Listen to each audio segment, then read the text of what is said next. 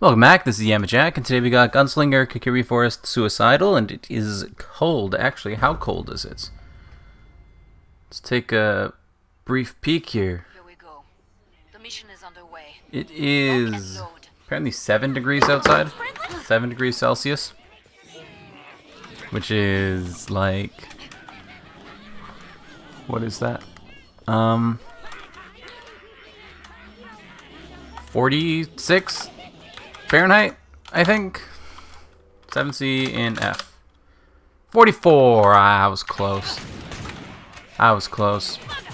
For y'all Americans out there that use the worst uh, temperature system, it's 44, 45 degrees out. My room has uh, poor insulation, and uh, the only heater I have in here is my computer. It's uh, it's fairly chilly, honestly. It's honestly a little bit warmer in here than it was where I was just now. Um, I was just sitting out in the living room, even colder out there. Um, it's cold. It's cold. is the the moral of the story here. In the in the summer, I complain about the heat. In the winter, I complain about the cold. It's uh, it's it's cold, dude. It's cold. Come on, man. It's cold. But you know what the best part about it being cold is? Is it, uh, I get to put my, my blanket, once I'm done recording, I get to put my blanket into the, uh, well, it's probably time to wash it, honestly, so I get to wash it. But regardless, once it comes out of the dryer, it's nice and warm, and there's, uh, there's a fair bit of a thermal mass in that, so I get to, to kind of absorb all that heat, and it just, it's so warm and cozy and delightful. And, uh, it's great. Um, so that's that's a wonderful thing about it being cold. We love that. I've been thinking uh, I might start making a Terraria series. Big big maybe, big maybe, but uh, I've been thinking it might might happen because got a Discord message. Mm-hmm, mm-hmm, mm-hmm. Nothing important. Um, Yeah, I'm thinking I might be able to make a Terraria series just because I do play it in such a different way than other people. I uh, might be able to make something and uh, have it be enjoyable or at least educational to a certain extent. Kind of capitalize on the uh, the lack of like technical Terraria YouTube channels, you know? I might be able to, to kind of build up uh, a name for myself on that front because there's a lot of things that I know that a lot of people don't. A lot of things that I know that a lot of people don't. A lot of things that I don't know that uh, some people do, but I'd uh, definitely put myself in the uh, in the slightly more knowledged on Terraria. I think that most my goodness, why why why so many husks, eh? I think that most people who play Terraria they don't tend to uh, to look into how everything kind of works and like they, they might uh, they might look up how to build a coin farm or something like that and copy the build but they won't understand the the mechanics that uh, that actually make it tick you know and I feel like maybe maybe I could kind of build off of that and make a series that kind of goes into how those farms work and rather than you know here's a design build this you know here's why it works. You can build your own. You know you you you want this this this and this and and you can kind of do whatever you want outside of that but uh, you know it, I, I I feel like there's there's a a niche for that and I've been I've been thinking about possibly possibly getting into that lately. Not sure not sure It sounds like it could be fun though. Kind of like uh, kind of like a you know Terraria Let's Play, but with the. Uh, when when when I look for Let's Plays on Terraria, what I find are people who are doing like a mage Let's Play, you know, and they and they do a, a mage run. So they make a character, they make a world, they only use mage weapons, they kill the Moon Lord, and they're like, alright, cool, that was a good one. Let's go do the same thing again, but this time with you know, range weapons. And then let's do the same thing, but with summoner weapons. Let's do the same thing but with melee weapons, with yo-yos, with books, with stabs, with, you know, and they keep on restricting it, and then just doing the same thing. But I don't see anybody who plays the game the same way that I do, which is I have like 800 hours in my current Terraria world or something like that. Like, that's not really represented on YouTube. And uh, if I were to, to maybe start to, to do something in that, I, I, might be able to have some fun with it. I'm not sure. The, the main issue that I, I kind of am concerned about with it is that I don't want to feel bad if I do something without recording. You know what I mean? Because like with Minecraft, um, I, I want to make like a cobblestone generator on Serenity. Um, I want to make you know, like all of these things that would be really, really helpful, but I don't want to do that because, uh, like that's that's a video, right? Like that's I can I can fit that in the video and make content, and people can watch it and enjoy it. Um, so I, I kind of have to restrict what I'm able to do unless I'm I'm actively recording or or planning an episode or something, you know. And I don't want that to happen with Terraria. I don't want to ever be restricted um, because of YouTube, because uh, Terraria for me is, is kind of my own personal hobby, you know? It's kind of what I do in my own time for, for me, rather than uh, for, for YouTube. Whereas Killing Floor, Minecraft, um, you know, uh, Gunfire Reborn eventually. Like these, these are things that I'm doing for YouTube that I enjoy, but I don't really like it's not it's not a personal hobby of mine. It's not something that I'm like interested in outside of, of the YouTube aspect of it so much. At least you know. Go make a difference. The main motivation is is definitely the YouTube. And uh, I don't want that to happen to Terraria as well. So I'm not I'm not sure how I'd organize it, but I I think I'd want to um, maybe make a second character and then kind of like run through the game and uh, like design things and, and kind of go over that and like how I'm designing them and what kind of things are important and like tips and tricks and that kind of stuff for, for making your progression a little bit simpler, a little bit more straightforward kind of thing, you know? I'm not sure. It's a lot of time as well that would go into it, but I already get a lot of awesome stuff from having my current world, so I, I could just move that over to, to make the process a little bit simpler, you know? I don't have to farm up a whole bunch of blocks and platinum and stuff for reforging. I don't have to, like, find accessories and fish a whole bunch and, you know, like, I don't have to do all that. I can just, like, grab it. You know what I mean? So it kind of saves me a lot of time. And, uh... Yeah, I don't know. It, it, it, it's kind of got me interested a little bit. I guess. Um, because I, th I, think it would be I think it'd be a good way for me to uh, I don't know spread some Terraria knowledge. I know a lot of people have trouble with some just very very basic mechanics in Terraria. Like uh, people get the Terra Bark boots or whatever, they want to reforge them to warding or menacing or whatever, and uh, you know it's like 30, 40 gold per reforge, and they're like struggling to get the gold for that, and they're having a lot of trouble with all these things. I'm like, you know, it's a really simple solution, honestly. Um, it's just that a lot of people don't take the time to, to learn the game to be able to uh, to actually like put these solutions into practice, you know, because they aren't something that you'd find on YouTube because they aren't like an end game solution. They're they're very early game stuff. You wouldn't necessarily see people going over that. Um, because like it doesn't really matter. You don't really have to have your boots at warding for the Wall of Flesh fight, right? But then uh, it, it might be you're going over the core mechanics and the and the ideas and the fundamentals. Kind of like a Terraria 101 sort of thing, but uh, from like a technical perspective, might be might be my my niche. I'm not sure. I'm I'm I'm, I'm undecided. I might make uh, I might make one episode and and see how I feel about it. I think I think that's the best way forward. Just just make an episode, you know.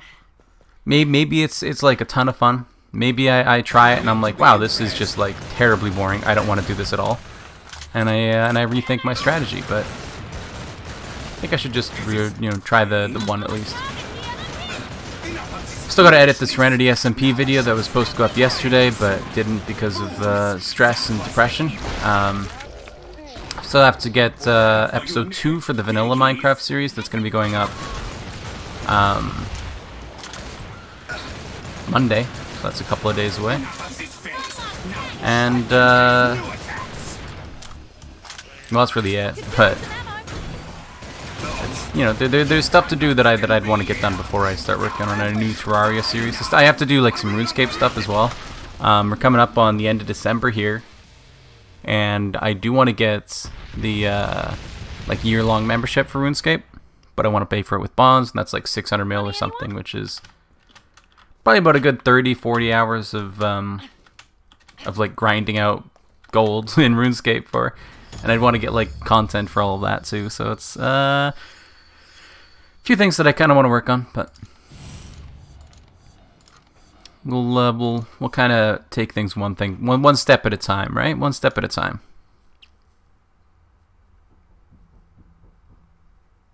one step at a time. Christmas is coming up in, uh, in six days. It's the 19th today, Saturday. Christmas is six days away. You guys celebrate Christmas? You excited? Oh, I just splashed water onto my forehead. First batch of You guys excited for. Christmas? You guys celebrate Christmas? I don't know. I do. We've got uh, we've got plans to head over to my grandparents on Christmas Eve. So we'll do our uh, our initial celebration then. I don't know if it's a like my family thing or if it's a like European Portuguese thing, um, but we always celebrated Christmas on Christmas Eve, and then um, we'd have just uh, you know my parents, my sister, and I on on Christmas Day wake up and, and open up the presents under the tree. I think that it was um, my mother who always celebrated Christmas on the 24th and then my father who always celebrated on the 25th so we kind of like i guess came to a compromise where we celebrate with my uh, my mother's parents on the 24th and then we celebrate as a as a family together at home on the on the 25th i don't know if it's i don't know if it's a portuguese thing or if it's just a the way that my family kind of does it but 20 the the 24th has always kind of been the day of of uh, of celebration for me I mean, the 25th has always been a day I've kind of loathed, honestly. Um, I've never been fond of presents, you know? I, I've been over my my ranch on presents as a capitalist kind of scheme. um, but, uh, you know, I've, I've never been too fond of it. So the 25th, we were always getting wake, woken up at like 7 a.m. or something, you know? 7, 8 a.m. To, to have to, like, get up and open up presents that I didn't care about really anyway. And uh, since we celebrated on the 24th as well, that meant that we'd be like staying up until pretty late. You know, we'd be going to bed typically around like 1 a.m. or something like that, and they'd be waking us up at like 7, 8 a.m. And I'm like, I just, I just want to sleep. like, you can keep the presents, just let me sleep a little bit longer. And then you got, um, you know, you have to spend time with your family and do all this kind of stuff. I'm like, yeah, but we already spent time together yesterday. So the 25th has always been a day that I don't, uh, I don't particularly look forward to. 24th is one that I enjoy because I get to visit my grandparents and kind of have this big celebration with, you know, all the food and everything. And then the 25th, I've always kind of been like, yeah, it's, I could, I could do without it. It just feels a little bit superfluous, I suppose. I used to get uh, I used to get in trouble because I'd be like, "Yeah, I'm not getting up." you know, they're like, "It's Christmas tomorrow. We have to get up at like you know 8 a.m." Like, "No, don't make me up. I'm not. I'm not getting up." And uh, my my mother in particular would be uh, upset with me Do it in Darwin. because uh, she's like, "No, we have to be up. We have to be celebrating Christmas. Get it? we have to open up the presents." And I'm like, "I just don't care about the presents. I care about me sleeping. You that matters more to me." Oh. Um, these days, my uh, my grandparents are too old for us to, to be staying up late on the 24th anyway. So we end up, you know, coming home like five o'clock, six o'clock in the uh, in the evening anyway. You know, with their bedtime. Um, so it's uh, it's a little bit easier to get up in the morning, but it's still it's still just a day that that, that just feels a little bit All Zeds on the scope. redundant, I suppose. But regardless, Christmas is coming up. I am excited for the 24th.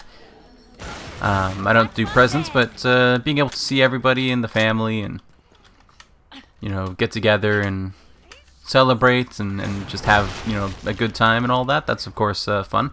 My grandparents on that side still give presents. Typically, it's just a, an envelope with some money in it. Especially this year, I, I highly doubt they've gone out and done any shopping. They're hardly capable of that in the first place, let alone with COVID. Um, so it's uh, you know typically just a, an envelope with money, and and you know as, as starkly as I am against, uh, as staunchly I suppose against uh, presents as I am, Here, boys and girls. And I just don't think it's worth it arguing with them. You know, like it's And that X Factor reject. you gotta you gotta draw the line somewhere. And uh, and for me, it's it's uh Now that's bullet time. you know with with other people, my parents, my sister, I'm not gonna let them. You know, I'm I'm I'm gonna be I don't know, not not, not selfish, I guess, but like. It's selfish for them to, to want to give me a present, you know what I mean? Because I don't want it. So if they're giving it to me, it's it's for their own gratification and like feeling like they gave me something. But uh, so so I'm like, you know, I just I don't have any sympathy. Get to the indicated pod. Um, I'm I don't you know, you you, you should respect my wishes and and not give me presents is is the moral of the story here. If you don't want to respect that, then that's fine. I'm not accepting your presents because like it's it's kind of a two way street, right? With my grandparents, it's like they're too old, you know, like they're not even gonna be cognizant of the fact that I don't want presents. You know, like they they don't even recognize. Well, my uh, my grandmother anyway doesn't often recognize like the people in the pictures, even though the people in the pictures are like her. you know, like it's just I, I can tell them that I don't like presents. I'm probably still gonna get presents, and then like you know, do I argue it? Do I decline it? It's just gonna make like the whole thing is just gonna be a, a much worse experience for everybody, and like I don't want to put them through that, you know. So I, uh, for them, I still I still accept presents, just because it's uh, it's not worth it to, you know, when when you look at the whole picture, it's not worth it to really try to to cut that out as well. I mean, it's it's just just it's just not, you know. So I still accept them. I don't know if uh, if we'll get any this year so much, but Who is this mysterious marksman? I I mean I always hope that we don't. You know, I always hope that this is the year that uh, that they decide we're not doing presents anymore. Never is, but I always hope it is. I'm hope I'm hoping that this year as well, but it, it, again, I'll, I'll probably end up getting a an envelope with some money in it at least or something. Much to my dismay. It's like I just I just I just rather people spend their money on themselves, and I'd rather me spend my money on myself, you know?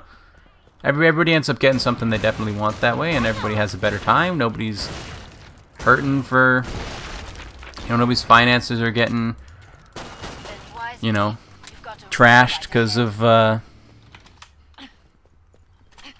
Christmas. You took some hits there. It's kind of like the diamonds, you know, market, right? It's not, you know, people people say, uh, you know, you, you need a big diamond to, to propose to your lady or whatever, and it's like you don't really, you know. If, if the, if the size of the diamond is the you know determining factor in whether or not she says yes, you don't want to marry her. Oh yeah. Um, so it's like it's just uh, it's just a silly silly thing. Just a silly thing. And then and then you know Christmas is the same thing, I guess, right? Like it's it's all about the the selling you more stuff. It's not really about the people. No, nobody you know, when when you see all these Christmas advertisements and you know give the gift of love and you know whatever other kind of garbage you see on the internet and advertisements and stuff.